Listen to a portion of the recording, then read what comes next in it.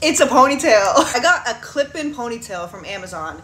The color is gorgeous. I, I feel like it matches. So let's put all the hair I currently have into a super mini ponytail. So here's what I'm currently working with and I'm about to slick all of this into a ponytail. Anything is possible with some hair gel.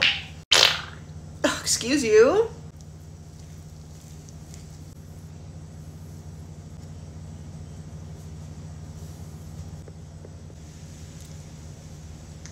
It's given inches. Before we go any further, let's clean up the edges to kind of eliminate the look of a extremely large forehead. Wow, low key, my forehead is almost non-existent now.